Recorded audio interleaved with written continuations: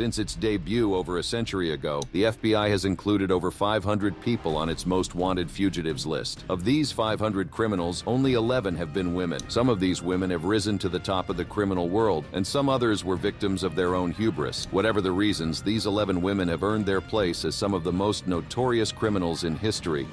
Ruja Ignatova. Ruja Ignatova, a Bulgarian-born German citizen and founder of OneCoin, a fraudulent cryptocurrency scheme dubbed by the Times as one of the biggest scams in history. With the growth of technology and improvement in technological know-how, it's becoming incredibly difficult to defraud people, especially on a large scale. However, with credentials like Dr. Ruja's, it is not impossible to see how the Oxford-trained businesswoman with a PhD in private international law could pass as a verifiable authority in the cryptocurrency, enabling her to defraud people across the globe of over $4 billion. A scam so successful, it would eventually become the subject of a book, a podcast episode, and an episode in a YouTube series. Following the unprecedented rise and success of cryptocurrency, the self-proclaimed crypto queen started OneCoin in 2014, a type of digital currency she claimed worked like other types of cryptocurrency. Buyers could mine the coin, use it to make payments, and even own an online wallet. Although OneCoin would eventually become what Dr. Ruja Ignatova would be globally recognized for. Her criminal history dates back to 2012, when she was convicted of fraud in Germany and served a suspended sentence of 14 months imprisonment. In 2013, she was also part of a multi-level marketing scheme known as BigCoin. At the peak of its commercial success, OneCoin had become a global brand with investors from over a dozen countries. In June 2016, the crypto queen, who was 36 years old at the time, walked on stage at the Wembley Arena in front of a screaming crowd of thousands of loyal investors, where she proclaimed in a fiery speech that OneCoin was the Bitcoin killer and concluded emphatically by stating that in two years, nobody will speak about Bitcoin anymore. However, in October 2017, less than a year after that powerful Wembley declaration, Ruja Ignatova, who was scheduled to speak in Lisbon, Portugal, did not show up and has not been seen to date. Reports claim that the 42-year-old went underground after being tipped off about a district court in the United States issuing a warrant for her arrest, causing her to flee to Greece and disappear forever. In March 2019, the FBI and Interpol arrested her brother, Konstantin Ignatov, who pleaded guilty to money laundering and fraud in connection to the OneCoin scheme. The U.S. authorities also charged Dr. Ruja in absentia for security fraud, wire fraud, and money laundering. In 2022, the German Federal Criminal Police Office announced that Dr. Ruja was wanted for fraud charges, offering a 5,000 euros reward for any information that could lead to an arrest. Soon after, an Interpol red notice followed, and she was consequently put on Europol's most wanted list. Later that year, in a joint press conference with the IRS and United States Attorney's Office, Southern District of New York, the FBI added Ignatova to its 10 most wanted fugitives list. There's currently a $250,000 reward for any information leading to her arrest. Ruth Eisemann-Schier as a people, we are inclined to celebrate most of our first milestones in various aspects of our lives. Similarly, we are primed to celebrate individuals and institutions that push boundaries and are trailblazers in their fields. But I can't imagine that being the first woman on the FBI Most Wanted list is one of those things to be celebrated. That honor belongs to Honduras-born Ruth Eisemann-Schier, who was added to the list in 1968, 10 years after the infamous list was created. Her crime? Kidnapping 20-year-old Barbara Jean Mackle, a student of Emory University and daughter of Robert An American millionaire and land developer who was reported to be close to the then president-elect Richard Nixon. Shortly before her Christmas break in 1968, there was an outbreak of the Hong Kong flu at the university where young Barbara studied, causing her to contract the illness. As a result, her mother Jane drove up to the school and took a room at an inn near the campus to ensure she could take care of her. After learning that the school's infirmary was full, Jane took her sick daughter to her room at the Rodeway Inn in Decatur, unbeknown to them that their lives were about to become something straight out of a Hollywood crime mystery flick. At about 3 a.m. on December 17, 1968, two male police officers knocked on Jane's motel room. The officers, who would later be identified as Ruth Eisemann-Schier and Gary Stephen Krist, her boyfriend and convicted criminal, announced that there had been an accident involving a white Ford, the type of car that Barbara's boyfriend, Stuart Hunt Woodward, drove at the time. Jane unsuspectingly unhooked the latch on the door, and the two officers forced their way into the room brandishing weapons. The assailants chloroformed, gagged, gagged, and bound Jane before abducting Barbara, forcing her into the getaway Volvo that was parked outside. The criminal couple then took her to a remote location in Gwinnett County, where with the aid of chloroform, they forced Barbara into a box made of fiberglass buried in a shallow hole somewhere in the forest. They had modified the fiberglass box to allow Barbara to breathe and stocked it with food and water laced with chloroform, while they waited for her father to pay a ransom of $500,000. Before absconding with the ransom money, the kidnappers gave vague directions to Barbara's burial spot, where she was found 83 hours after she was kidnapped. On December 28, 1968, the FBI named Ruth Eisemann-Schier as one of the 10 most wanted people for her role in the abduction of Barbara Mackle. On March 5th the following year, a couple of months after being indicted for kidnapping, Ruth Eisemann-Schier, living under the alias Donna Sue Wills, was arrested in Oklahoma when she applied for a nursing role, and the system flagged her fingerprints. Two months later, she pleaded guilty to all the charges against her and was consequently sentenced to seven years imprisonment. She would later be granted parole after four years on the condition that she return to her home country of Honduras. Marie Dean Arrington.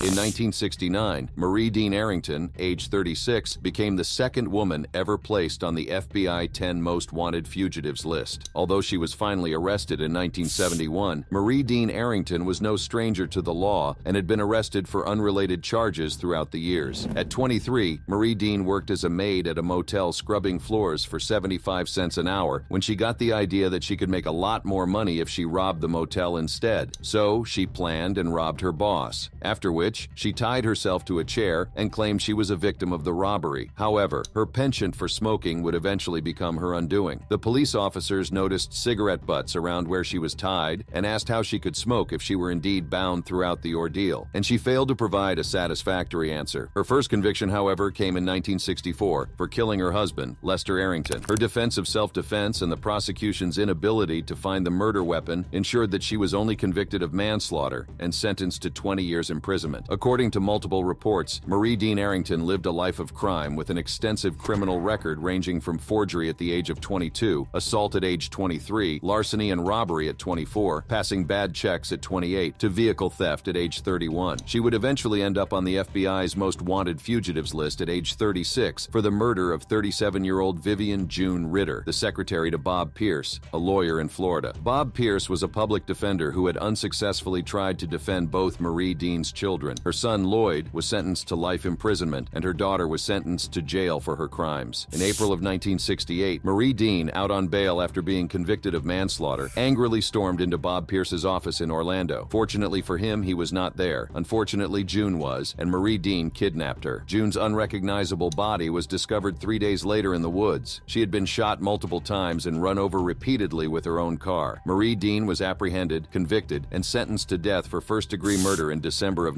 1968. The jail bars did not hold Marie Dean for long. On March 1, 1969, Marie Dean Arrington escaped from the Lowell Correctional Institution Annex in Marion County, Florida. Reports claim that she cut a window screen, squeezed through the hole, hopped over two wire fences in her pajamas, and fled to New Orleans, where she began a new life as a waitress. She remained on the run for a couple of years before she was eventually captured in 1972 and sent back to the Lowell Correctional Institution Annex. Although she was initially given the death penalty, her punishment was reduced to a life sentence when the death penalty was deemed unconstitutional. She remained in the Lowell Correctional Institution Annex in Marion County, Florida, where she committed up to 61 criminal violations until her death in 2014. Angela Yvonne Davis.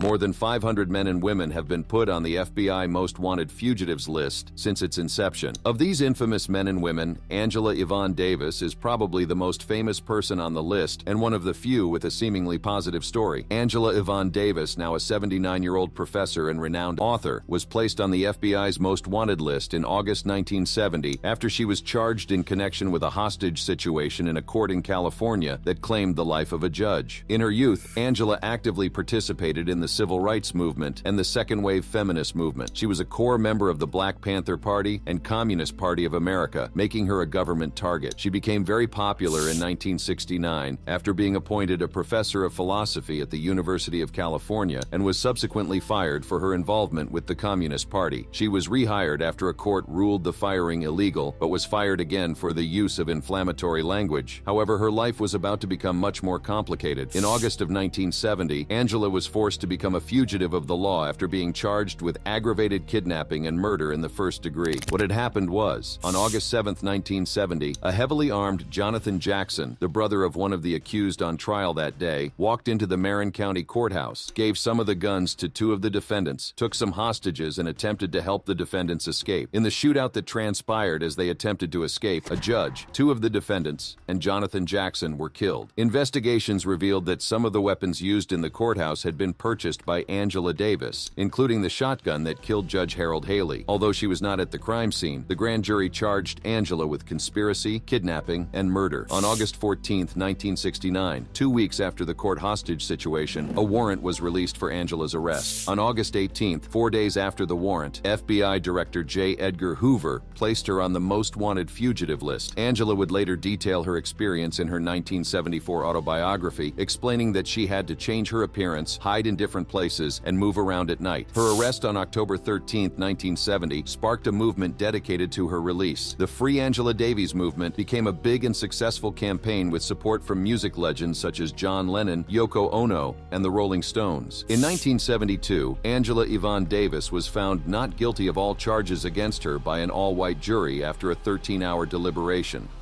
Bernardine Rae Dohrn, Born on January 12, 1942, Bernardine Rae Dohrn was a co-founder and former leader of Weather Underground, a far-left violent militant organization in the United States. The group was responsible for several attacks in the late 60s and early 70s, including bombings of the Pentagon, the U.S. Capitol, and numerous police stations in New York. The Weatherman Group was also responsible for the Greenwich Village townhouse explosion that killed three of its members, an explosion that would make Bernardine Rae Dohrn a fugitive from the law, hiding in Chicago and San Francisco for 11 years. Before creating the Weather Underground, Bernardine was a self-proclaimed revolutionary communist and an active member of the Students for a Democratic Society, a left-wing communist revolutionary organization. Her activist lifestyle and communist affiliations caused her to have a few run-ins with the law, but her work as a leader in the Weather Underground would give her a spot on the FBI Most Wanted list for several years before she was removed in December 1972. On August 22, 1969, Bernardine Rae Dohrn was arrested and charged with possession of illicit drugs, but the charges were dropped after the defense proved that the police conducted an illegal search of the car. Her hit and miss encounters with the police would continue for a few months until November 21, 1972, when the United States Court of Appeals for the Seventh Circuit dropped all charges against her on the basis the judge was biased in his refusal to permit defense attorneys to screen prospective jurors for racial and cultural bias. On October 14,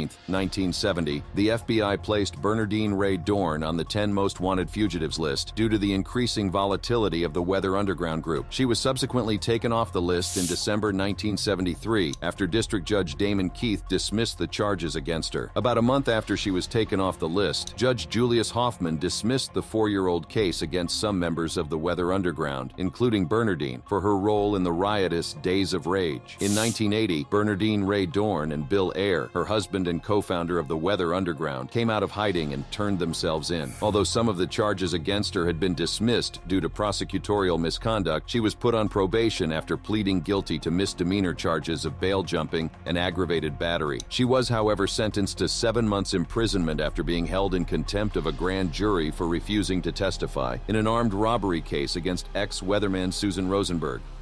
Donna Jean Willmott.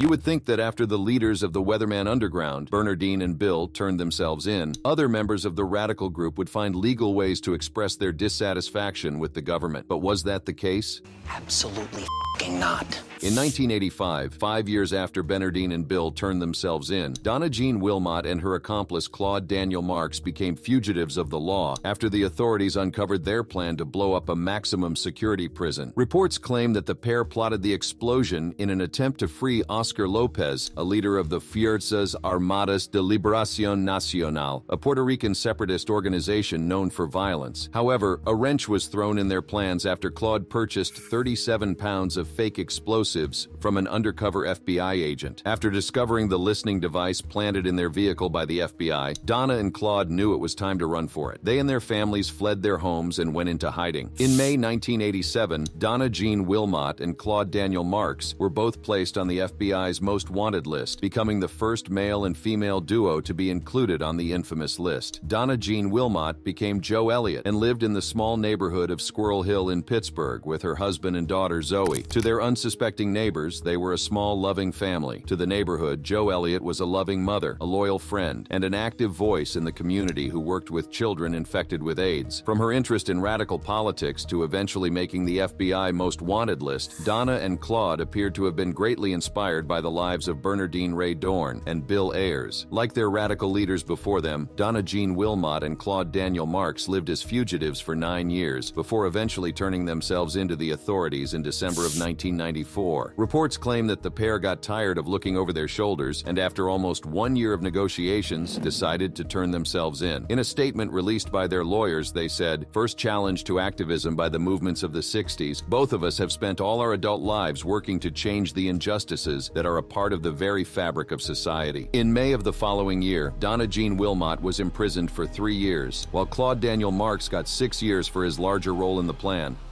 Shauntay L. Henderson, it would be another 20 years after the listing of radical extremist Donna Jean Willmott before another woman would earn a spot on the FBI Most Wanted Fugitives list. The then 29 year old Shauntay L. Henderson, who served the shortest time on the list, was placed on the list for a record breaking one day as she was arrested on March 31, 2007, for the murder of DeAndre Parker in 2006. The same day she was put on the list. Already notorious as one of the leading members of the 12th Street Gang, Shauntay was allegedly connected to at least 50 gang gang related shootings and five other murders. She, however, denied these accusations in a trial and was not convicted due to lack of evidence. In September of 2006, she allegedly shot and killed 21 year old DeAndre Parker execution style while he was in his truck at the convenience store with his girlfriend. When she learned that she was a suspect in the murder, she fled and went underground. In a classic example of a leopard's inability to change its spots, Shauntay could not and did not stay hidden for long. Shauntay allegedly came out of hiding briefly to incite a spate of gang wars where she apparently ordered the killing of gang members who testified against Steve Wright, her mentor and notorious kingpin. Sources also claim she may have been on a mission to avenge her sisters, who were killed in drive by shootings. She was eventually apprehended in Kansas City and charged with murder. During the trial, she claimed self defense, alleging that DeAndre Parker tried to run her over with his truck. Her defense was enough to acquit her of the murder charges, but she was given probation for her manslaughter charge and sentenced to three years in prison for armed criminal action. In a decision, decision that he would eventually regret, Judge Robert Schieber, who granted her probation, stated that he gave her every benefit of the doubt. Less than a year after she was released in 2010, she was arrested at a traffic stop for illegal possession of a firearm, to which she pleaded guilty. The once lenient Judge Robert Schieber sentenced her to 10 years for violating her parole. He also ordered the 10 year sentence to run consecutively with an additional 7 year sentence for illegally possessing a firearm. She served her 7 years at the Federal Correctional Institution, Waseca. After she was released, released from federal prison in 2017, Shauntay L. Henderson was sent to the Women's Eastern Reception Diagnostic and Correctional Center in Vandalia, Missouri, where she's scheduled for release in 2027. Brenda Delgado. Love is blind, and lovers cannot see. The pretty follies that themselves commit were the words of the great William Shakespeare in his book, The Merchant of Venice, and it perfectly explains the crime of passion that landed Miss Brenda Delgado on the FBI's 10 most wanted fugitives list. The story, which seemed like the plot of a terrible telenovela show, follows the story of a sordid love triangle that saw Brenda conspire to kill her ex lover's new girlfriend and then escape to Mexico. At the time of the crime, Brenda Delgado, who would come to be known as the jilted lover, was a 34 year old dental hygiene student who dated Ricardo Paniagua, a dermatologist, for two years before they broke up. After the split, Ricardo Paniagua started dating Kendra Hatcher, a pediatric dentist in Dallas. To add insult to injury, in September 2015, Brenda learned that her ex lover had introduced his new girlfriend to his family, and the couple planned a romantic trip to Cancun. Enraged, the jilted lover reportedly used money and drugs to secure the services of Kristopher Love, a hitman, to murder Kendra Hatcher in her apartment complex. The suspected hitman seen on this surveillance camera leaving the scene was promised drugs in exchange for killing Hatcher. Known by the press as the jilted lover, Delgado fled to Mexico after the killing, but Mexican authorities, working in conjunction with the FBI, tracked her down and brought her in. Brenda offered the same bribe of drugs and money to her other accomplices, including Crystal Coates, a 21 year old dental assistant, who told authorities she received $500 to drive the getaway car. Police investigations uncovered a security tape that caught Brenda's Jeep Cherokee on camera fleeing the crime scene. According to the FBI, after she was interviewed and questioned, Brenda Delgado fled to Mexico, where she lived as a fugitive for half a year before being put on the FBI Most Wanted Fugitives list in April 2016. On April 8, 2016, two days after she appeared on the Most Wanted list, authorities apprehended Brenda Delgado in Coahuila, a city in northern Mexico. After her arrest, she spent five months in a Mexican prison before she was extradited to the United States in October of that same year on the condition that the state would not seek the death penalty. Prosecutors, however, filed a motion to argue the death penalty against her, but it proved unsuccessful. In October 2018, hitman Kristopher Love was sentenced to death, and getaway driver Crystal Cortes was sentenced to 35 years in prison for their role in the plot to murder Miss Kendra Hatcher. In October 2021, Brenda Delgado was found guilty of murder and is currently serving a life sentence. Shanika S. Minor. Prior to Dr. Ruja Ignatova in 2017, the 24-year-old Shanika Minor was the most recent woman to earn a spot on the FBI's Most Wanted Fugitives list. Wisconsin-born Shanika Minor made the Most Wanted list in June 2017 for allegedly killing a pregnant woman and her unborn baby for disrespecting her Shanika family. The victim, 23-year-old Tameka Perry, was reportedly nine months pregnant and her baby was due to be born in about a week. Reports claim that in February 2017, Shanika's mother mentioned that Tameka, her neighbor, was playing music too loudly at odd hours of the day. Acting on this information, Shanika confronted Tameka on two different occasions. The first was challenging her to a fight and threatening her with a weapon. According to various reports, on March 5, 2016, Shanika Minor confronted Tameka on the street with a semi-automatic weapon about the noise issue. However, Shanika's mother intervened and diffused the situation. Unsatisfied, Shanika walked away, but was left feeling that her family had been disrespected. The second confrontation happened in the wee hours hours of the next day, a few hours after the first. At about 3 a.m. the next morning, Shanika Minor entered the Tameka's duplex through the common hallway, where the victim stood by her door. In an attempt to stop her daughter, Minor's mother put her body between the two women, but her efforts were a little too late. Shanika reached over her mother and shot Tameka in the chest, fatally injuring her. The victim returned to her house and died in front of her two little kids five days before her due date. Unfortunately, her unborn baby also died before the ambulance arrived. Shanika Minor fled the scene and remained at large for almost four months before the FBI included her in the Most Wanted Fugitives list on June 28, 2016. In the early hours of July 1, 2016, three days after she was put on the list, Shanika S. Minor was apprehended in a motel in Fayetteville, North Carolina. She is currently serving a 30-year sentence for one count of first-degree reckless homicide of a child and one count of first-degree reckless homicide.